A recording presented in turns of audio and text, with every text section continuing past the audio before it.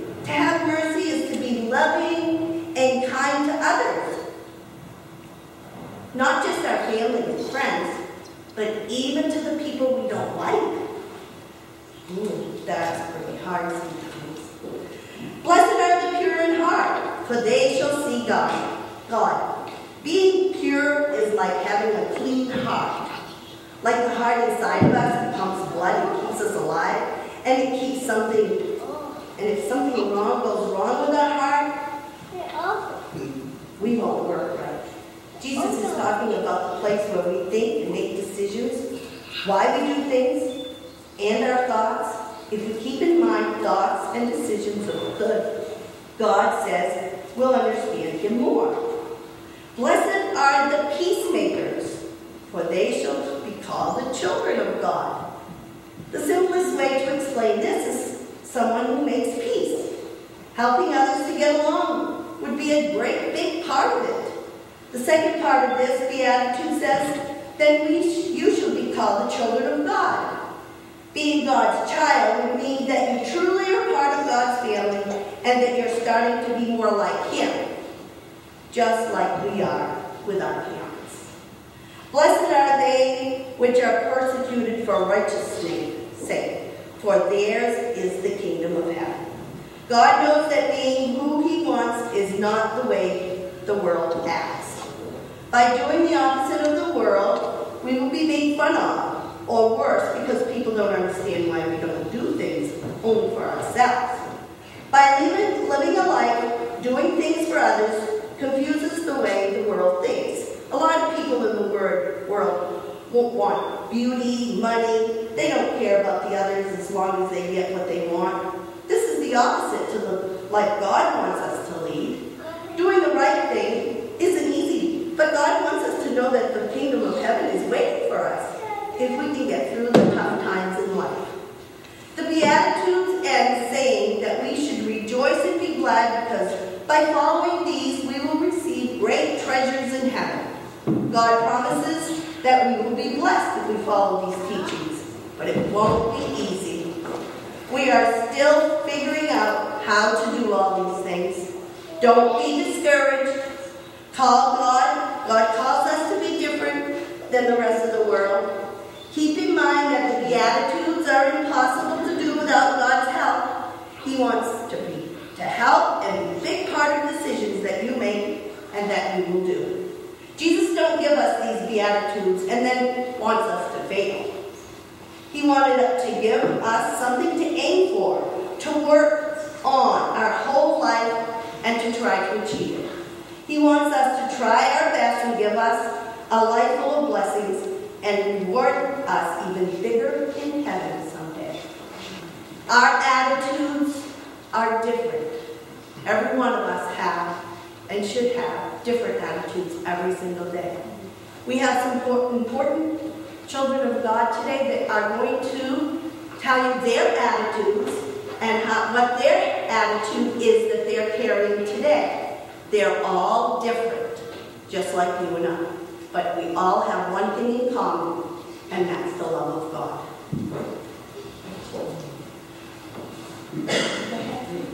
Have Rachel. We have Faye. We have Tessa. We have Riley. Stop right there, Tessa. Tessa, come back here. Stay right here. And we have Madison.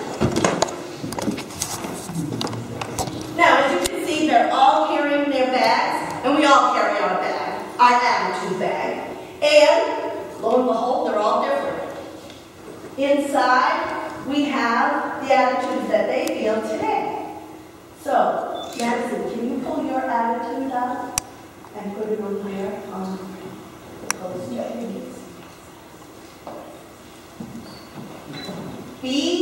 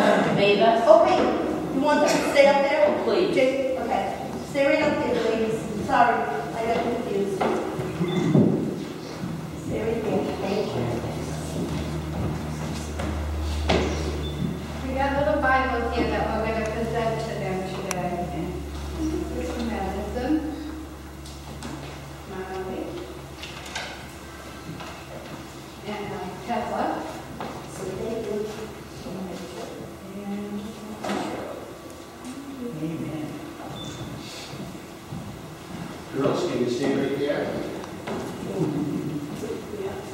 Yeah, we have some for the other little ones, one for Robbie, and then we have one for Arabella, and for Farrah. Now, girls, you know what these Bibles are called? They're called God's recipe book. And if you read that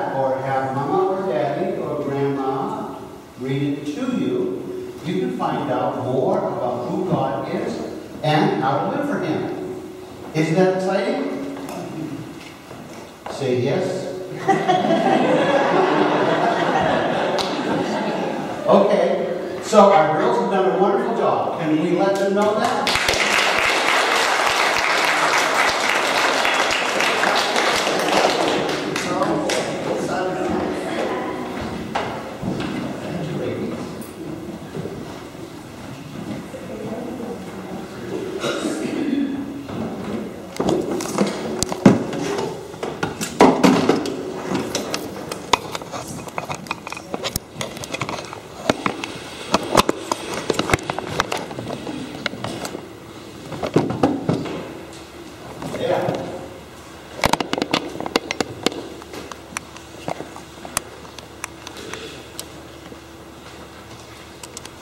You've been wondering what this is, haven't you? It looks like something that the people at a hotel would bring and have a meal on, so you can eat a meal in your room, doesn't it? Well, maybe, maybe not. Anyway, I have a recipe book too. Okay?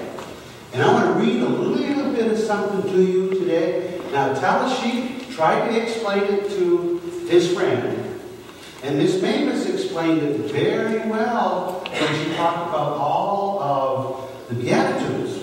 And you girls did a very fine job putting those attitudes up on the board. And the Bible talks about that. The Bible talks about uh, how it is that we should think about God and one another. And today, my, my message to you today is about friends. Anybody got any friends? You got friends? One of you has friends. Okay. I bet all of you have friends. But today I want to talk about friends because friends can help you understand what is the right thing to do, or friends can give you the wrong instructions, the wrong idea, and they can take you somewhere where you don't really want to go.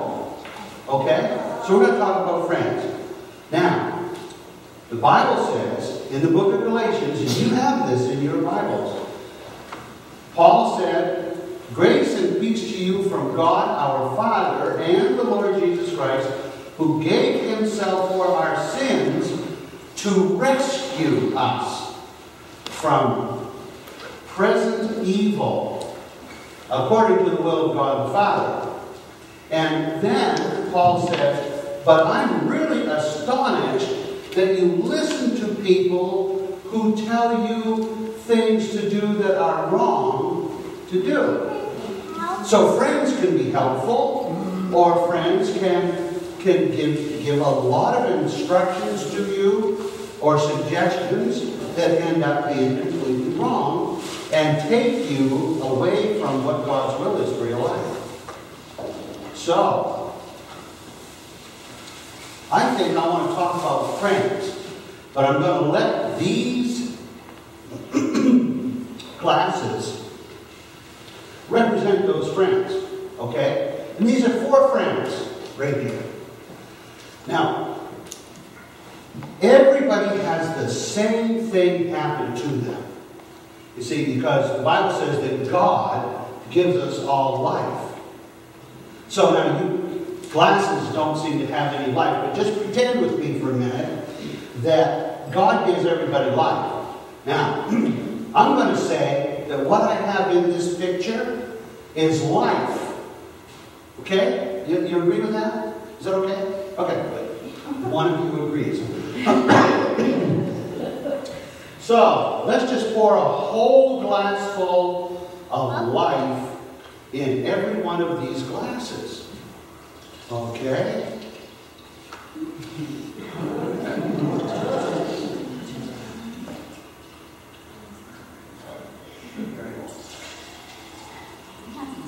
Wow. It appears like life is different. Excuse me. now I gotta get this up here. It appears like life is different.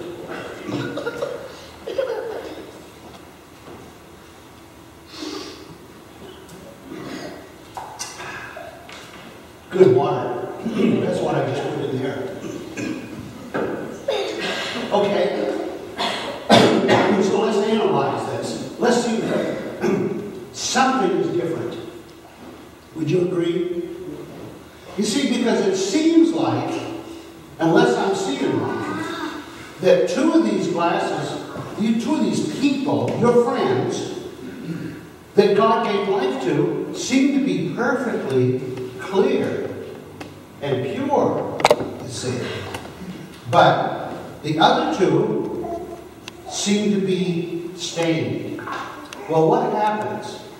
What happens when we live for God and we do what Jesus tells us to do? We have a heart that is completely pure. Okay? But if we don't live for Jesus, we have a heart that is stained with sin. Like these two. But these are all friends. Now, guess what happened? One time, this one's birthday came. And you know what she did? She invited all of her friends to her house for a pajama party, and to stay overnight. And the next day, they were going to go to the beach, and when they get done at the beach, they were going to go to the zoo. When they get done at the zoo, they were going to go to a movie of Underdog. Have you ever seen Underdog? Oh, fun movie, you gotta see it. Well, anyway, so they all went to this one's house. And after dinner that evening, this little girl said, Hey, Mom, can we have some chocolate chip cookies? And Mom said, No. Because if you eat chocolate chip cookies, you're going to be up all night. You're going to be bouncing off the walls. You're going to have so much sugar, you're going to want to play all night long, and you're not going to be able to go to sleep. So mom said, no, no chocolate chip cookies. So when it came time, they went to bed. And then this little girl said, guess what? After mom and dad go to bed, we got to sneak down to the kitchen and get a cookie. She'll never know. She'll just never know. Now, you ever snuck down and got a cookie? Don't tell us yet. Mom is here. Okay. But, you see, God says that there's a rule. The rule is obey your mom and dad. But this little one is saying, I know mom said no cookies, but if we go down and sneak one, she's never going to know. And this one, whose heart really didn't think much about Jesus either, this one said, I'm with you all the way. Let's sneak down and have a cookie.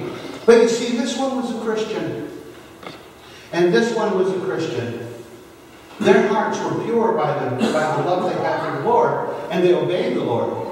But this one, you know, was kind of weak. They didn't read their Bible, they didn't pray very much, and so they were kind of on the weak side of things. And so this one said, you know what? I think that'd be okay. So they all went to the kitchen. This is the kitchen now, okay? They all went to the kitchen.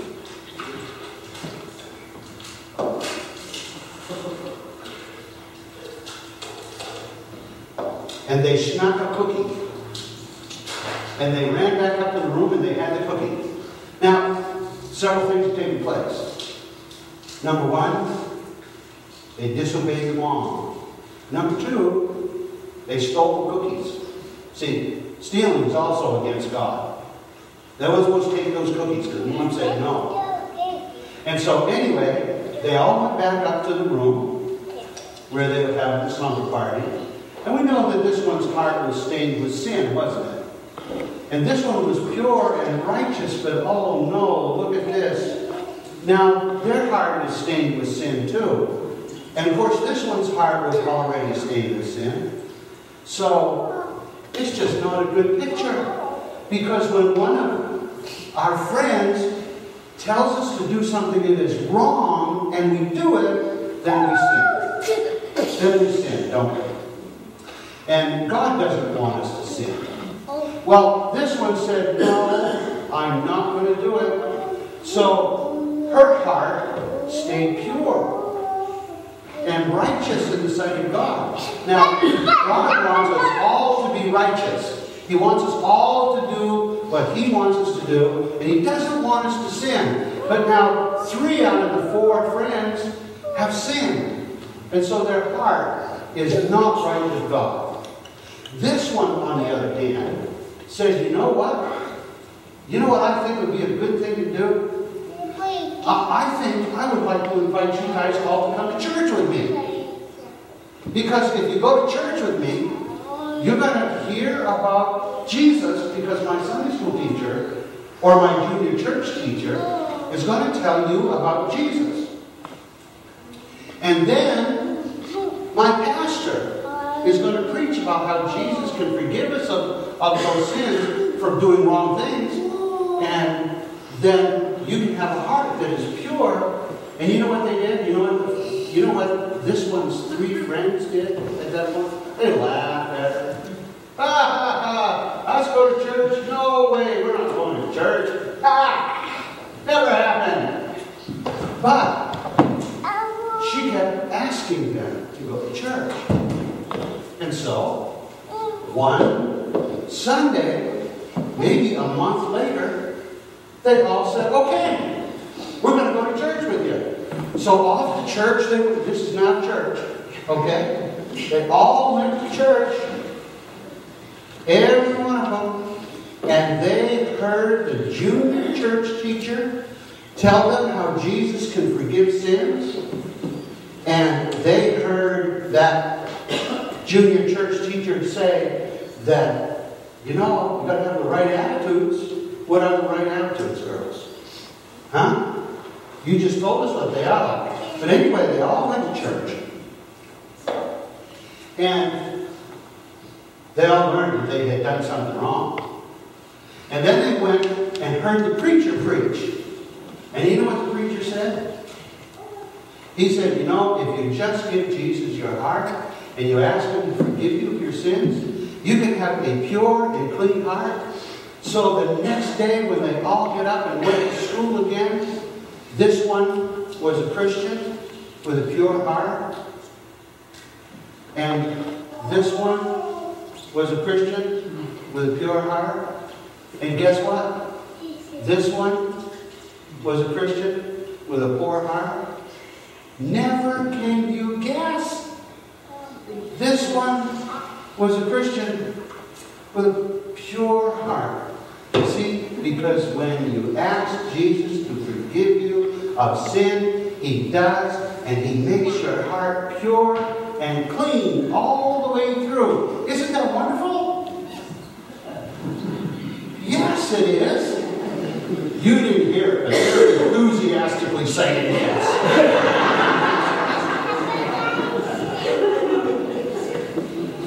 So, we're going to pray. And we're going to ask Jesus to make sure that we don't have sin in our heart and we're not doing things that are wrong, but we're doing things that He likes and He approves of. Okay? And then we're going to sing a song. Let's pray. Gracious Father, I want to thank you so much for the wonderful message that we have received today from Talashik and his friend, and from Miss Mavis, and from the girls who have told us the right attitudes that we are to have. But we also thank you, Lord, that we know that if we've done something wrong, and your word tells us what it is that's wrong and what it is that's right, but if we've done something wrong, Father, if we disobeyed our parents, if we've taken something that wasn't ours, if we've had a bad attitude of any kind toward our friends, that you will forgive us. And so today I pray that you forgive every one of us for those things that we may have done. And Lord, that you would purify our hearts like we have seen in this little example, that you would make us clean no matter what. And Father, we know that you will do that because you said you would if we ask. And so I, I lift, Lord, all of these wonderful, precious girls up to you today. And I ask that you help them to make sure that they do what Jesus wants them to do. And if they know they've done anything wrong, that they can simply say, Jesus, please forgive me.